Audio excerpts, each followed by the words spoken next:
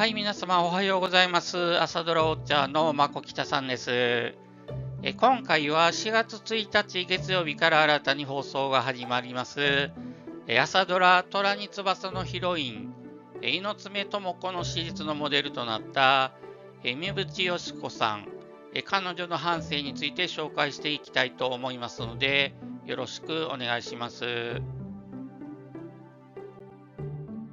はい、それではまずドラマタイトルの意味なんですが、虎に翼、大河ドラマっぽいタイトルになっていますが、どのような意味なのでしょうか。虎に翼はことわざの一つで、もともと威勢の良いものがさらに威勢を加えることを、例えているようです。虎だけでも強いのに、さらに翼があれば、より強くなるということですね。えですから、鬼に金棒と同じ意味ということです。えちなみに X の虎に翼のアイコンはこのような可愛らしい虎に翼になっているようです。はい、ということで長めの動画になっておりますので、え目次の方から紹介していきたいと思います。えまずはじめに弁護士を目指す朝ドラヒロイン。え過去にはどのようなものがあったのか。2つ目は、ヒロイン猪爪智子のモデルとなった三淵よし子の生涯はどのようなものであったのかについて、次の順番に紹介していきたいと思います。出自や名前の由来、学歴や父の教育方針、プライベート、結婚や家族や戦争の影響、職務経歴と晩年、最後にまとめを付け加えさせていただきます。ということで、時間のない方は概要欄に目次を記載しておりますので、そちらから見たいところに飛んでいただければと思います。弁護士を目指すヒロインを描いた朝ドラ。過去には第54作ひまわりがありました。平成8年度前期作品で、え松島菜々子さんがえヒロイン役を務められた作品です。えバブル崩壊の余波を受けリストラされたヒロイン、え南田のぞみが弁護士を目指すストーリー。えしかし、のぞみの史実のモデルとなった人物はえ不在ということで、オリジナルストーリーとして描かれていました。今回始まる虎に翼は第110作目で、伊藤沙莉さん演じるヒロイン猪爪智子には、史実のモデルが存在しているということのようです。その史実のモデルとなった人物は、日本で最初の女性弁護士となった三淵よし子さんです。ということで、ランマンブギウギに続く史実ものが続いていますね。はい、ということで、彼女の半生についてこれから紹介していきたいと思います。三淵よし子さんの出自についてですが、大正3年11月にシンガポールで誕生します。偶然ですが、ブギウギのヒロイン鈴子のモデルとなった笠木静子もまた大正3年に生まれていることから、ブギウギと全く同じ時代背景を描いていくことになります。父は台湾銀行に勤務していた東京帝大卒の武藤貞夫と母は信。その長女として授かります。よしこの名前の由来はシンガポールで生まれたことから、シンガポールの漢字表記、よしですね、かとも読めますが、引用したもののようですね。その後、父貞夫はニューヨーク勤務を命じられます。その間、よしこらは父の出身地の丸亀で生活していましたが、大正9年に父が帰国すると、一家は揃って東京渋谷区に引っ越すようです。はい、ということで、ここでもやはり、ランマンブギウギに続く四国つながりということになりますね。はい、えー、続きましては、よしこさんの学歴とえ父の教育方針についてです。え父佐渡は幼いよしこに、えただ普通のお嫁さんになる女にはなるな。政治でも経済でも理解できるようになれ。えそれには何か専門の仕事を持つための勉強をしなさい。医者になるか弁護士はどうか。えと言われて育ったようです。良妻賢母ではなく職業婦人として自立する女性となるように諭したようですね。ドラマではヒロインの父親役は岡部隆さんが演じられます。昭和7年にお茶の水女子大附属高校の前身である東京女子高等師範学校附属高等女学校に入学されます。師範学校を卒業した後、よし子は法律を勉強しようと決意したようです。それにはちょっとした出来事がありました。その出来事は昭和8年に弁護士資格が改定され、女性も弁護士となることが認められたという出来事です。その後、明治大学短期大学の前身である明治大学専門部女子部を経て、昭和10年に明治大学法学部に入学されます。当時、女性が弁護士を目指して法律を学べる唯一の学校だったようです。ちなみに父とは対照的に、母の部は法律などを勉強しては、嫁のもらい手がなくなると、泣きながら猛反対したというエピソードが残っています。ドラマではヒロインの母親役は石田ゆり子さんが演じられるようですね。その後、昭和13年に高等試験、司法科試験に合格、明治大学を卒業されます。昭和15年に明治大学同窓の中田雅子さん、1年後輩の久米愛さんとともに日本初の女性弁護士となります。はい、それでは、よしこのプライベートはどのようなものだったのでしょうか？昭和16年11月に、実家に書生として出入りしていた明治大学卒の和田義雄と結婚されます。ドラマではこの書生役を中野大河さんが演じられるようですね。昭和18年1月には第一子で長男の義武が誕生します。しかし、昭和19年6月に夫義雄に召集令状が届くことになります。よし子は幼い息子を抱えながら空襲で家を焼かれ逃げ惑い、さらに福島へ疎開するなど苦しい生活を強いられたようです。終戦後、昭和21年5月に夫義雄が上海から引き上げ途中に長崎で病死したことを聞かされます。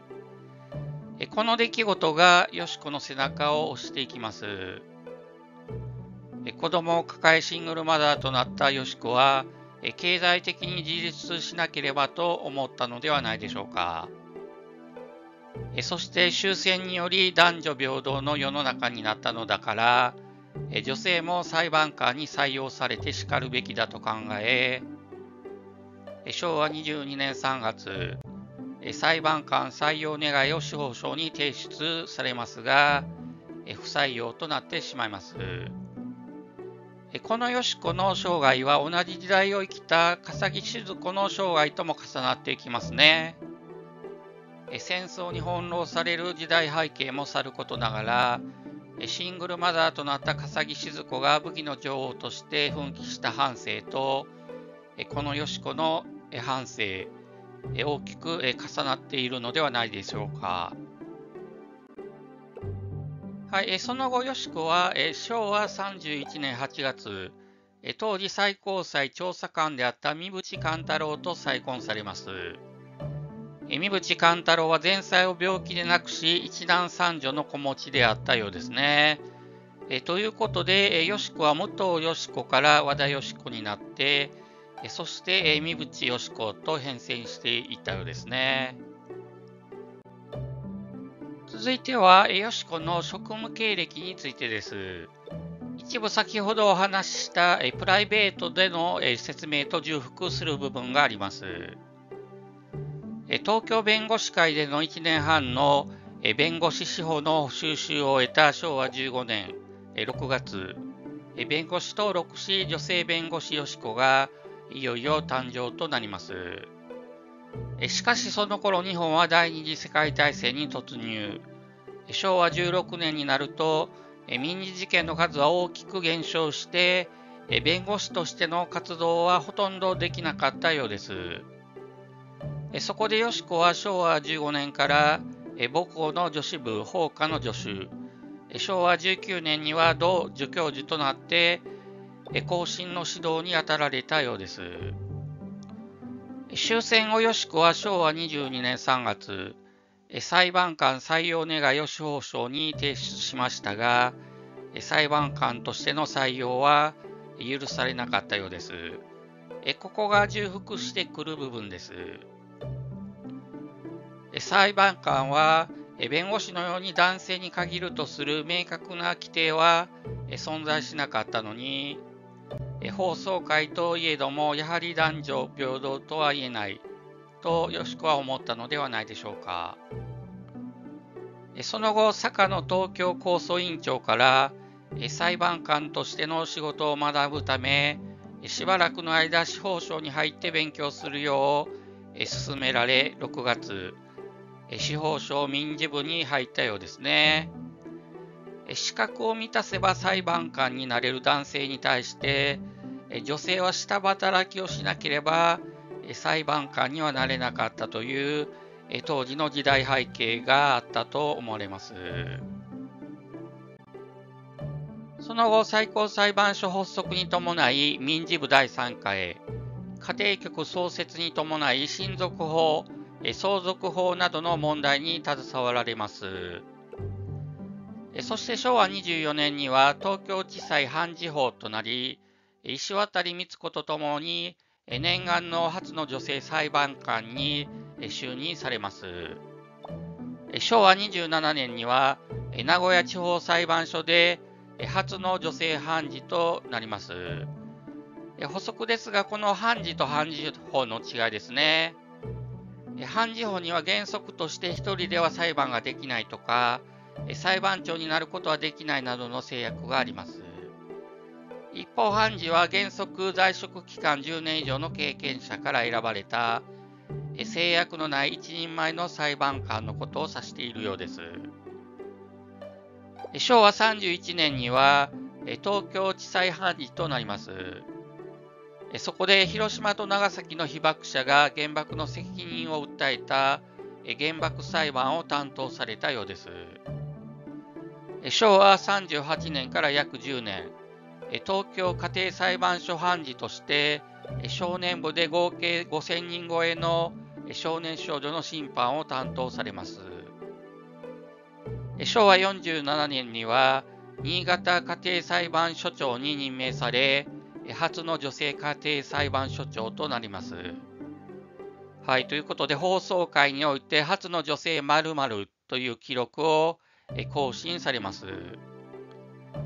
昭和54年には退官し、